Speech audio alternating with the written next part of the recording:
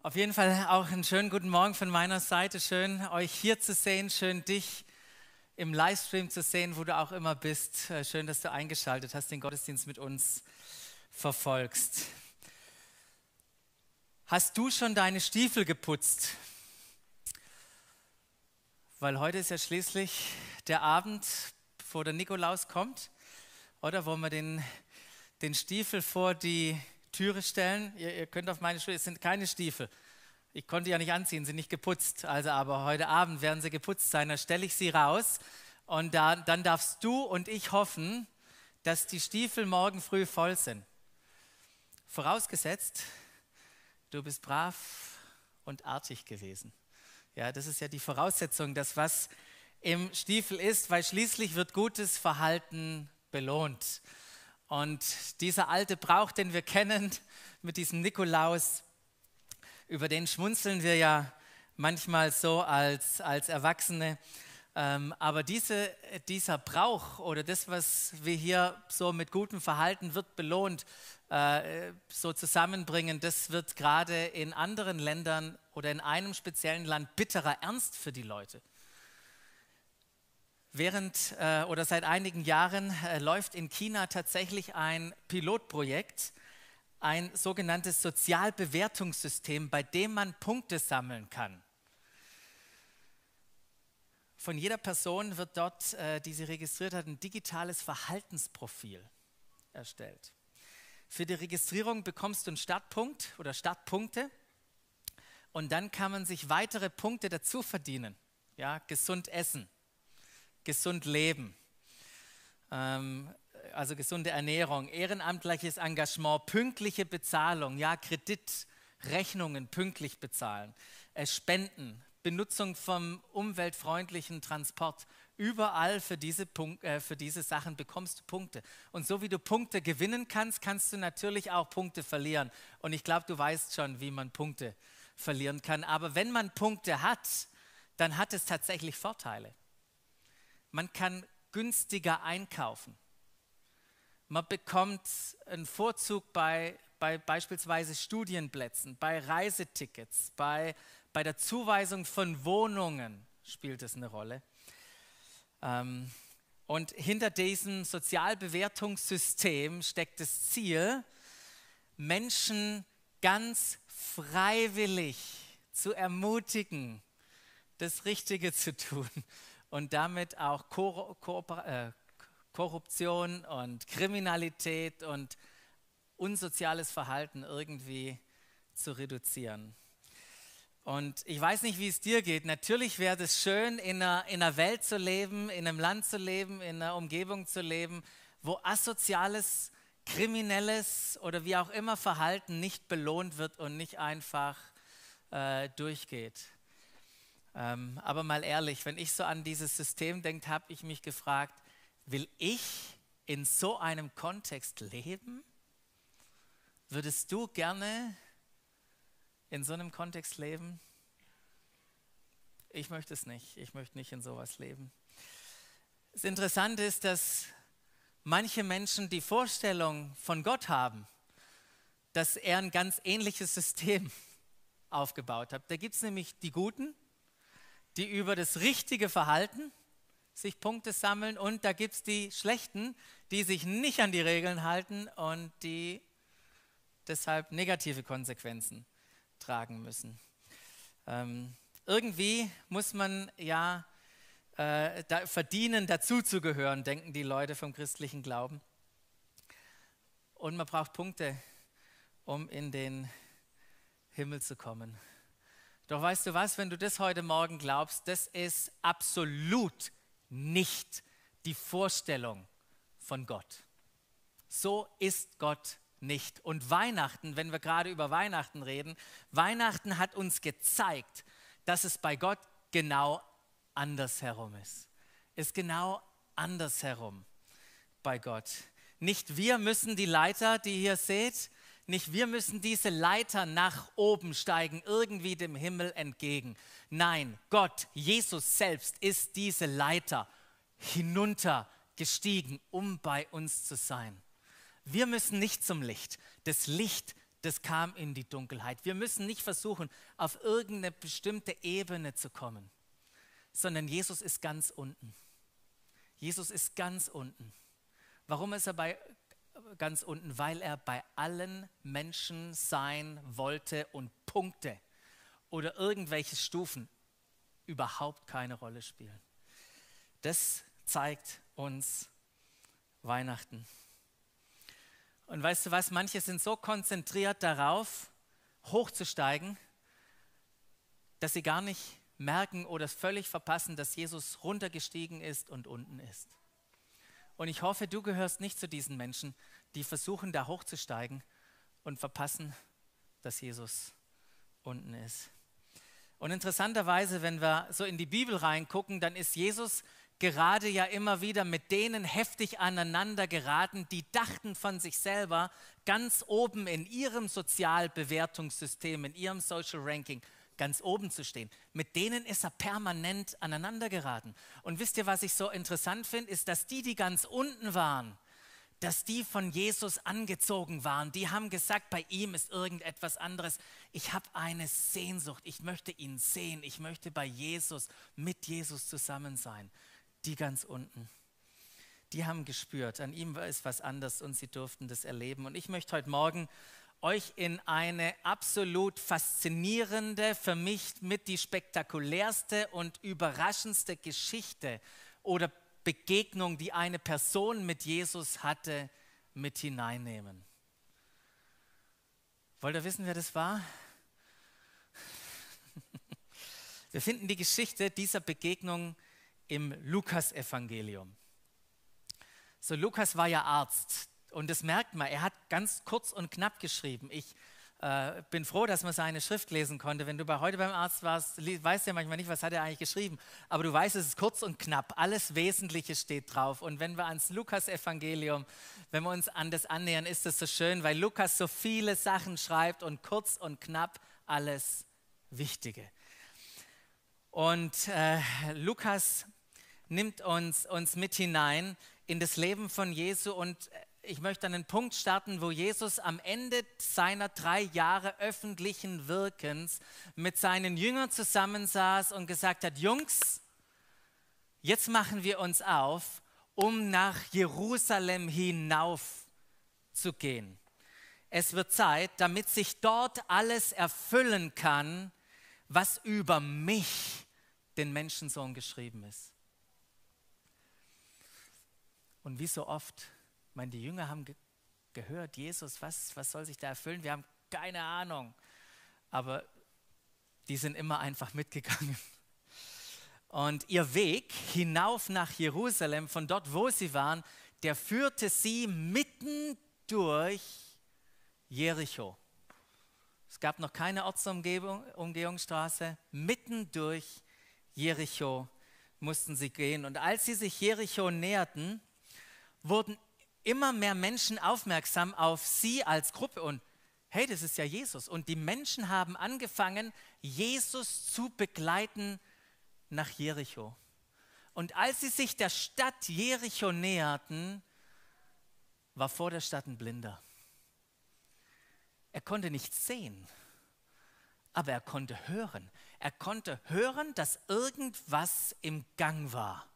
Irgendwie eine Menschenmasse war da. Und er fing an zu rufen, als er mitbekommen hatte, dass Jesus auf dem Weg in die Stadt war, fing er an zu rufen, Jesus Sohn Gottes oder Jesus von Nazareth, erbarme dich meiner.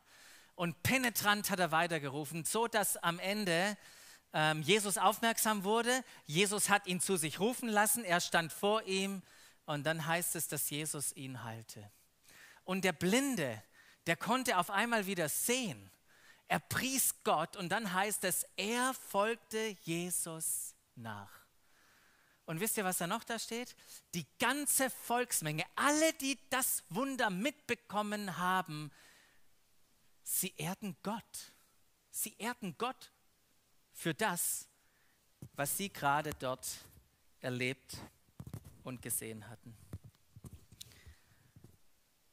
Kannst du dir vorstellen, was da plötzlich vor Jericho für eine Stimmung und Begeisterung da war? Ich meine, die Volksmenge, wow, schon hier vor der Stadt heilt Jesus einen Blinden. Jetzt kommt er zu uns. Was werden wir jetzt wohl mit Jesus erleben, wenn er nach Jericho kommt? Das Problem war nur, Jesus, Jesus wollte überhaupt nicht nach Jericho, der musste halt durch Jericho, weil der Weg nach Jerusalem dort lang führte. Und während er durch Jericho ging, wurde er von dieser Menschenmenge begleitet. Und dann schreibt der Evangelist Lukas, und in Jericho lebte ein Mann, der mitbekam, dass Jesus in der Stadt war. Und dieser Mann hat den wunderbaren Namen Zachäus.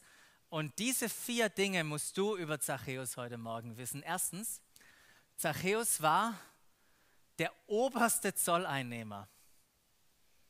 Er war reich, er wollte unbedingt Jesus sehen, aber es ging lang ihm nicht, weil er klein war und viele Leute ihm die Sicht versperrten. Der oberste der Zolleinnehmer. Zöllner waren unbeliebt und daran hat sich bis heute nichts geändert. Ja? Stell dir vor, du bist bei einer Party ähm, und hast Smalltalk mit den Leuten. Irgendwann redet ihr über euren Beruf und du erzählst, was du machst und dann fragst du den anderen, ja, was machst denn du? Und er sagt, ja, ich bin Abteilungsleiter beim Finanzamt. Ist nicht gerade ein Job, wo man sich brüstet, oder? mein gut, dass es die Leute gibt. das wurde damals nicht nur belächelt, das war Abschaum. Abschaum dort zu arbeiten. Die waren absolut vom Sozialpunktesystem ganz weit unten. Zöllner. Warum war das so? Weil die äh, Leute oder das Gebiet damals ja besetzt war durch das römische Militär und die haben Zölle, Steuern eingenommen. Warum? Um das arme Land zu halten ihre Militärausgaben hochzuhalten und gleichzeitig sicherzustellen, dass dieses besetzte Gebiet keinen Widerstand leisten kann. Und die haben das ganz schlau gemacht. Die nahmen sich nämlich Einheimische aus diesem Volk und haben gesagt, ihr treibt bei euren eigenen Leuten die Steuern ein. Wir wollen von euch einen gewissen Betrag haben. Wie viel ihr verdient, das bestimmt ihr selber ihr könnt euch unter unserem Schutz gerne einen kleinen Bonus oder einen größeren Bonus machen und dies schön bei euch in die Tasche schieben. Und genau so lief das System. Auf Kosten der eigenen Bevölkerung haben die Leute sich bereichert. Und der Oberzöllner, der hat nicht nur selber eingesammelt, der ließ einsammeln. Kannst du dieses schöne System vorstellen von Leuten, die dir permanent zuarbeiten? Und ich kann dir sagen, Zachäus ist schnell zu Reichtum gekommen. Deshalb heißt es auch, er war reich. Er war reich und wohlhabend. Jeder wusste, in welchem großen Haus Zachäus lebte. Und jedes Mal, wenn du dran vorbeigelaufen bist und dieses schöne Haus gesehen hast, dachtest du, wunderbar, ich habe es mitfinanziert. Das ist eigentlich mein Haus. Und er wohnt drin. Und wisst ihr was? Zachäus wusste das, dass er das Haus gebaut hat und alles, was er hatte, dass es Geld betrogenes Geld war, erpresstes Geld, das sein Leben finanziert hat. Und wisst ihr was? Zachäus war es scheißegal, was seine eigene Familie oder sonst irgendjemand von ihm dachte. Es war ihm völlig egal, ob Menschen durch ihn und was er tat litt.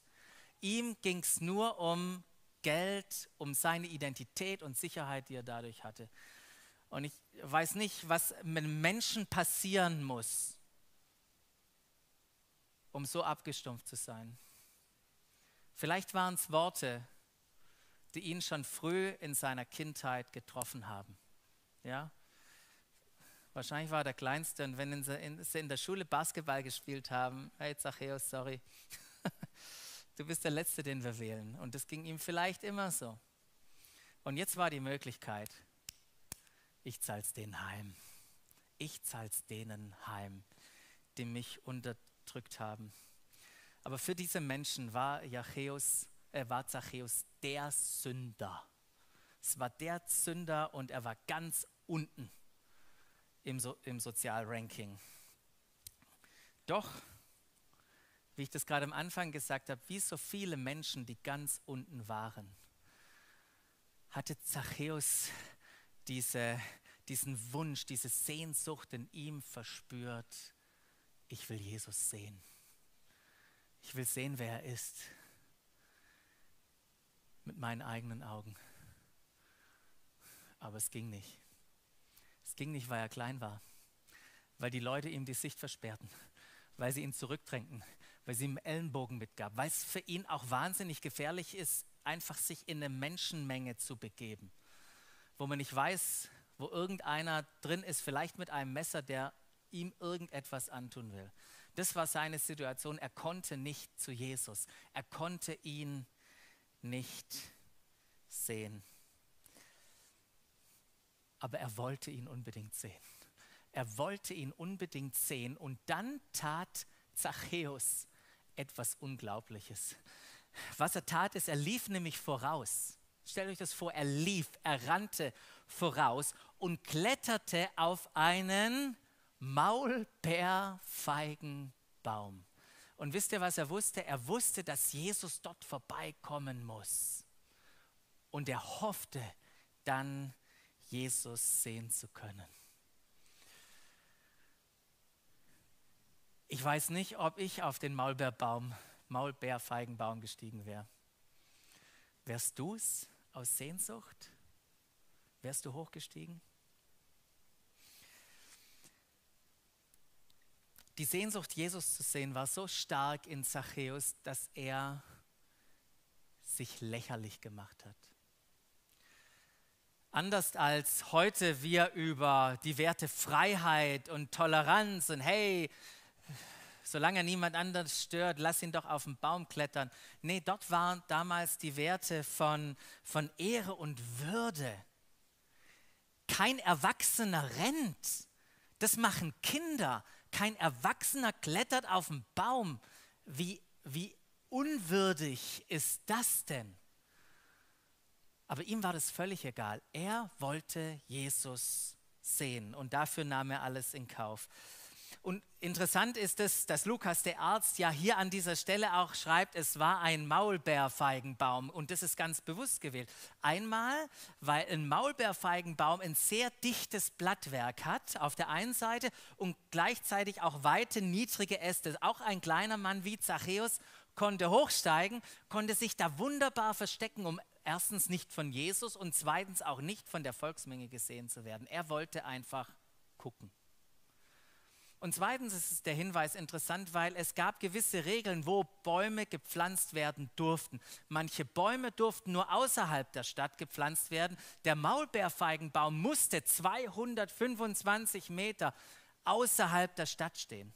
Er wartete also draußen, außerhalb der Stadt, am Weg von Jericho nach Jerusalem auf Jesus. Und Jesus war durch Jericho gezogen und wurde immer noch auch, auch außerhalb von der Stadt, von der Volksmenge begleitet, die richtig enttäuscht waren, dass er nicht da geblieben ist und weitere Wunder getan hat. Nein, er ist gegangen. Doch dann bleibt Jesus plötzlich stehen.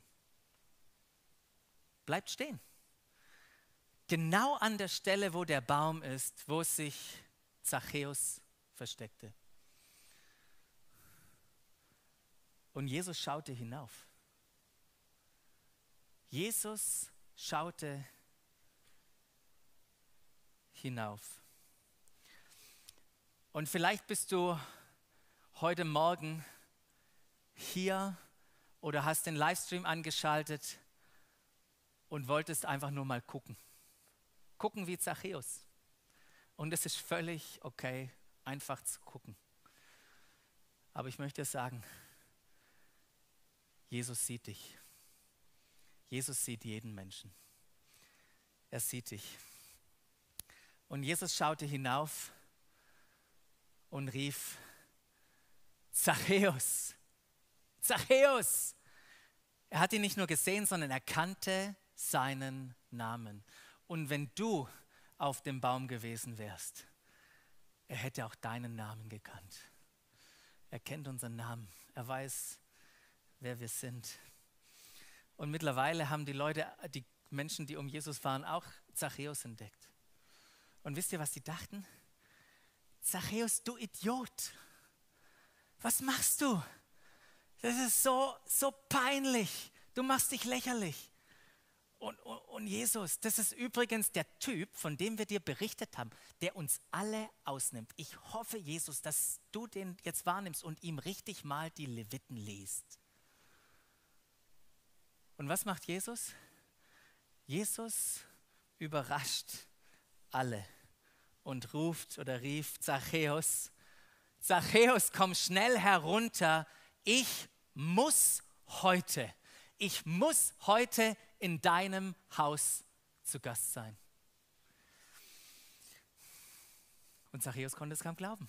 Was? Bei mir? Weißt du, wie viele Punkte ich habe? Gar keine. Und Jesus sagt, ich muss, ich muss.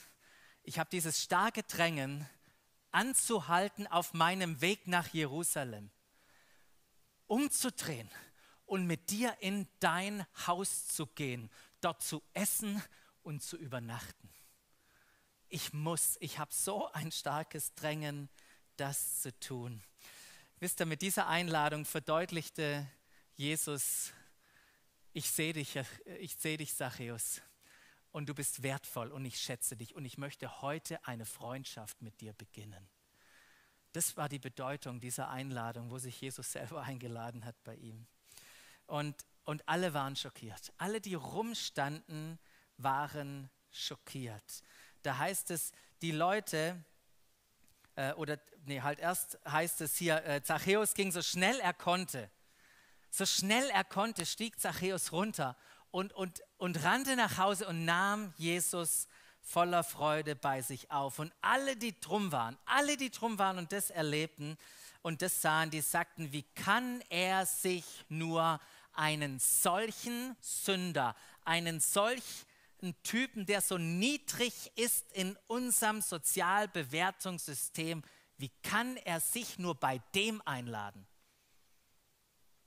Früher war das übrigens anders von der Kultur. Da hat nicht der Gast sich irgendwo eingeladen, da hat das Dorf oder die Stadt entschieden, welcher wohl der beste Gastgeber für den Gast war. Und Jesus bricht alle Regeln, lädt sich bei Zachäus ein. Und die Leute denken, das gibt's doch nicht. Bei uns wollte er nicht sein, aber zu diesem Idioten, zu diesem Sünder, da kehrt er einfach ein. Und Zachäus macht das, was damals der Brauch war und veranstaltet ein Riesenfestessen an diesem Abend. Und während sie zu Tisch lagen, so wie man das damals gemacht hat, steht Zachäus auf irgendwann, stellt sich vor Jesus, so hin, vor Jesus hin und verkündet etwas Unglaubliches und sagt, Herr, die Hälfte meines Besitzes, die will ich den Armen geben. Und da, wo ich Menschen betrogen habe, da gebe ich ihnen das Vierfache zurück. Kurz Kontext dazu, weil das unglaublich ist, was Zachäus hier ankündigt. Damals war es üblich oder das mosaische Gesetz sah, sah vor, 50 äh, 10 Prozent den Armen zu geben. Was macht Zachäus? ich gebe es fünffache, ich gebe 50 Prozent von dem, was ich habe, den Armen weg.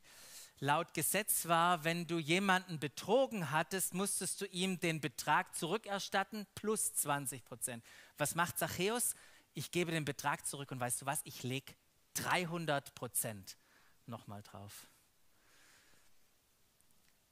Wenn ich nur kalkuliere, was der hier an der Ansage gemacht hat, der musste Sachen verkaufen, der musste vielleicht Schulden aufnehmen. damit er das einlösen konnte, was er gerade versprochen hat zu tun.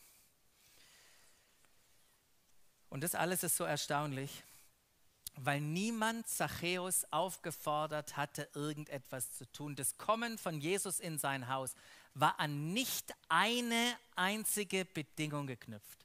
Der musste keine Stufe hochgehen. Und deshalb ist es erstaunlich, aber Zachäus wusste, dass er nicht durch Punkte verdient hatte, dass Jesus in seinem Haus war. Nicht, weil er da irgendwo oben war, ist Jesus gekommen. Er wusste, er durfte an diesem Tag erleben, was Gnade bedeutet. Und Gnade bedeutet, etwas zu empfangen, etwas zu erhalten, was man sich nicht verdienen kann. Das ist Gnade und das hat Zachäus an diesem Tag erlebt. Und weil ihm das Gesetz oder die Punkte nicht retten konnten, hat er jetzt auch nicht das Gefühl gehabt, er muss sich irgendwie nach dem Gesetz oder nach den Punkteregeln verhalten, sondern wollte genauso auch Gnade leben und sichtbar machen durch dein, sein Leben. Für mich ist das, diese Geschichte ist absoluter Hammer. Ich liebe diese Geschichte von jemandem, der mit Gott nichts zu tun haben wollte und dann zu einer Person wurde, die Jesus liebte. Von einer Person, die abhängig von Geld war, wurde er eine Person, die frei wurde von Geld und großzügig war. Von jemand, der Ungerechtigkeit ähm, produzierte, wurde er zu jemandem, der Gerechtigkeit wiederhergestellt hat. Von einem Menschenverächter wurde er zu einem Menschenliebhaber. Und deshalb sagte Jesus, als er in diesem Haus war, zu Zachäus, der heutige Tag hat diesem Haus Rettung gebracht. Der heutige Tag hat diesem Haus Rettung gebracht. Jesus sagte nicht, wenn du das jetzt alles tust, lieber Zachäus, was du hier gerade so groß verkündet hast, dann kommt Rettung in dein Haus. Nein, nein, nein. Rettung ist heute in dein Haus gekommen. Zachäus war bereits gerettet worden, weil er in seinem Leben auf Jesus traf und er ihn in sein Haus mitgenommen hat, ihn eingeladen hat, bei ihm aufnahm. Und daher fügte dann auch Jesus hinzu, dieser Mann ist doch auch ein Sohn Abrahams, oder? Und wisst ihr noch, wie das bei Abraham war? Bei ihm war es auch so, dass nicht das Verhalten ihm zur Gerechtigkeit wurde. Es war der Glaube und das Vertrauen in Gott. Und genau das Gleiche war bei Zachäus auch. Nicht das, was er tat, hat ihn in die Familie Gottes hineingebracht, sondern sein Vertrauen an Jesus hat ihn in die Familie Gottes hineingebracht.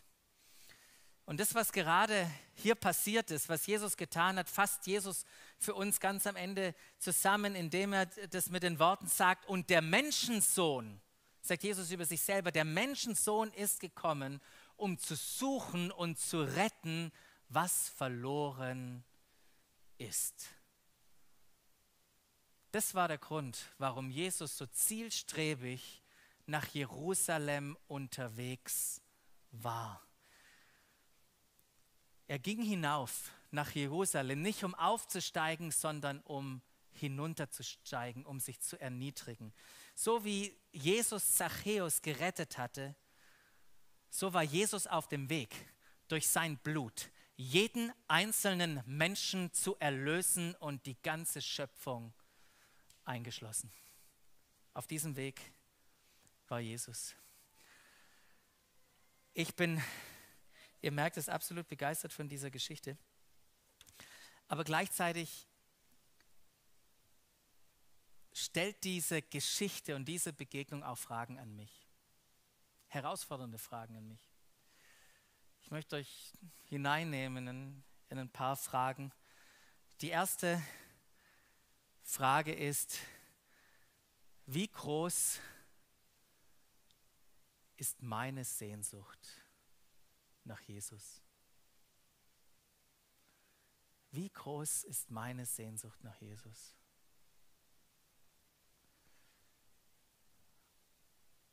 Und wir alle sind versucht, das so schnell eine Antwort zu finden, aber ich möchte dich herausfordern, dir wirklich das mal zu überlegen, wie groß ist deines, meine Sehnsucht nach Jesus und an was mache ich das fest?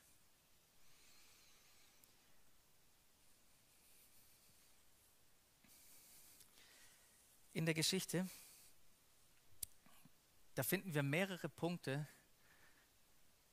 die die Sehnsucht reduzieren oder sogar auslöschen können, eine Sehnsucht nach Jesus zu haben. Das, der erste Punkt ist Ablenkung. Deshalb habe ich die Geschichte vom Blinden ganz am Anfang erzählt, weil alle haben gejubelt. Alle haben gejubelt. Alle haben Gott applaudiert. Wow, Jesus, ich meine, was kannst du für Wunder tun? Es war nur einer. Nur der, der sehen konnte, der die Entscheidung getroffen hatte, Jesus nachzufolgen.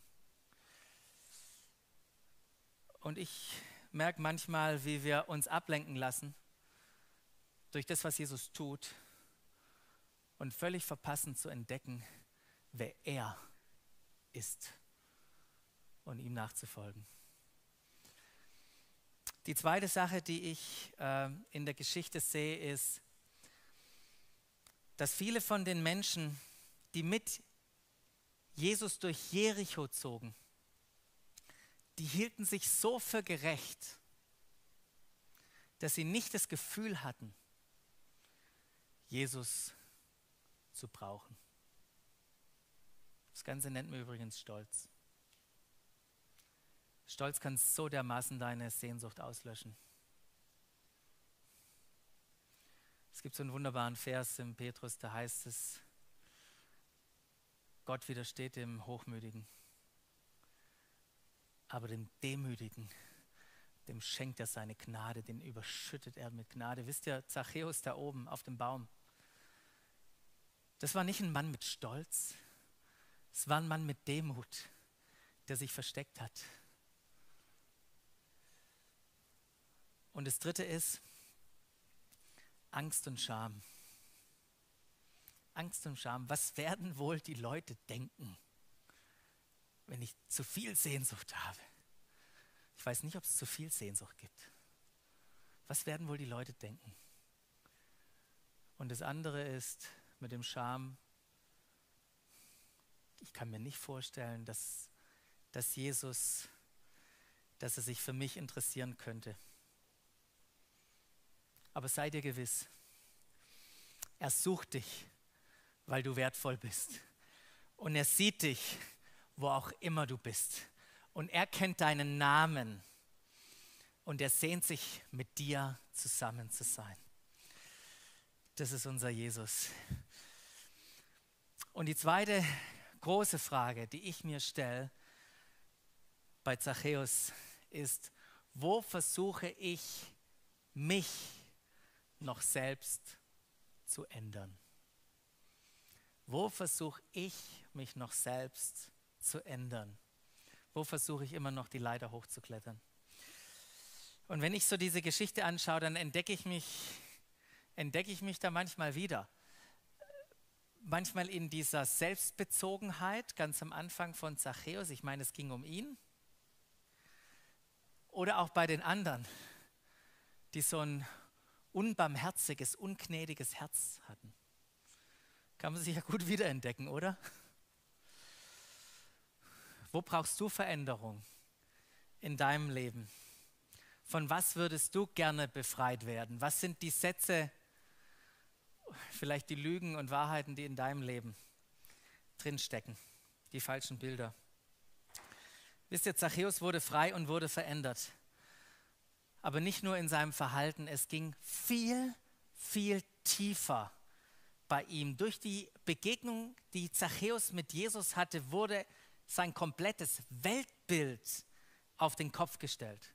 Sein bisheriges Mindset war, wenn du dich richtig verhältst, dann gehörst du dazu und du bist einer von uns. Streng dich an, sammel Punkte, dann gefällst du Gott. Dein Verhalten, deine Punktzahl bestimmt deine Identität. Und wenn du sündigst, bist du ein Sünder. Das war sein Mindset, das er hatte. Doch dann tauchte Jesus auf. Und Jesus, wisst ihr was, der war überhaupt nicht an seinem Verhalten oder an seiner Punktzahl interessiert. Er sprach nicht mal mit ihm darüber. Er erwartete nicht von Zachäus irgendetwas zu tun, um irgendwie Eindruck zu schinden. Wisst ihr, Jesus kam nicht, um das Verhalten von Zachäus oder dein, nur lediglich dein Verhalten zu verändern. Er ist gekommen zu Zachäus, hat ihn gesucht und gefunden, um ihr eine neue Identität zu schenken. Deshalb ist Jesus gekommen. Der heutige Tag, heißt es da, hat diesem Haus Rettung gebracht.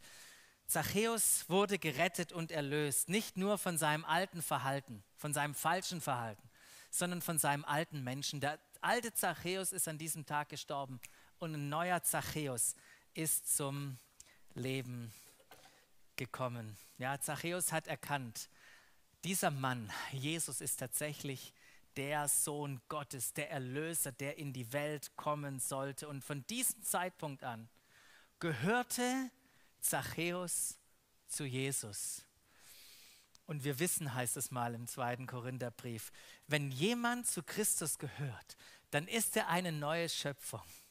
Das Alte ist vergangen, siehe, etwas ganz Neues hat begonnen.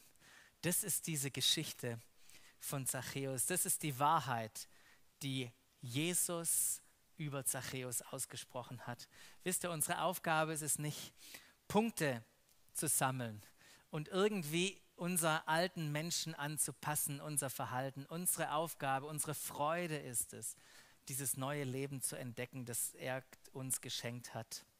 Als Zachäus entdeckte, wer er ist, ist ihm gewusst geworden. Das ist ja das Spannende. Ihm ist bewusst geworden, dass sein bisheriges Denken und wie er gelebt und gehandelt hat, dass es nicht mehr mit seiner neuen Identität übereinstimmt. Ja, ich bin nicht selbstbezogen, ich bin nicht gierig, sondern ich bin gnädig und großzügig. Deshalb kann ich geben, weil meine Identität, meine neue Identität mein Verhalten bestimmt. Wisst ihr, jede Veränderung beginnt mit Begegnung und Liebe und der Wahrheit, die Gott über uns ausspricht.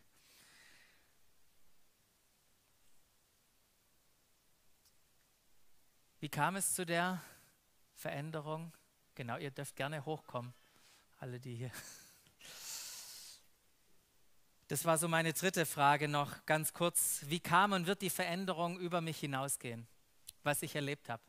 Das fand ich so spitze beim Zachäus. Was kann er nun in seinem Leben tun, um selber Licht zu sein, um dieses Licht in die Dunkelheit zu bringen? Und was ich bei Zachäus so merke, ist, das, wie Gott ihn gebrauchen will, das liegt gar nicht so weit von seiner Vergangenheit entfernt. Ja? Manchmal benutzt Gott genau diese Punkte, die wir erlebt haben, um ein Segen für andere Menschen zu sein. Aber auch in dieser Weihnachtszeit, Weihnachten neu erleben. Was könnte etwas sein, wo du jemanden überrascht, so wie Jesus Zachäus überrascht hat oder dann Zachäus alle Leute überrascht haben um ihn herum. Was könnte etwas sein, wo du jemanden überrascht?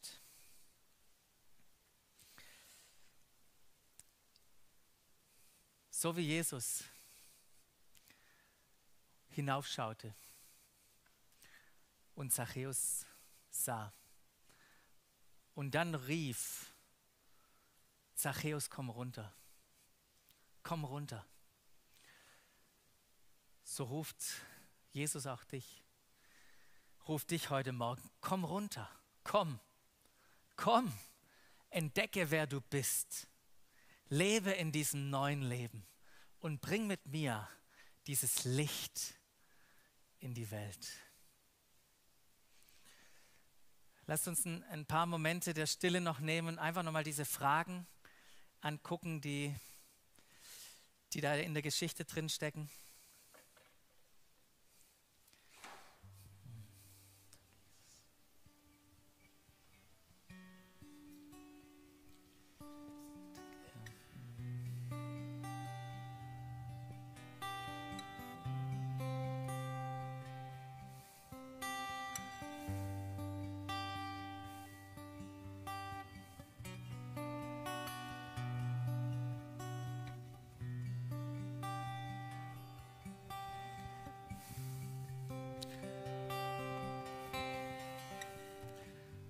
Dir heute Morgen eine Hilfe ist, hier oder auch zu Hause.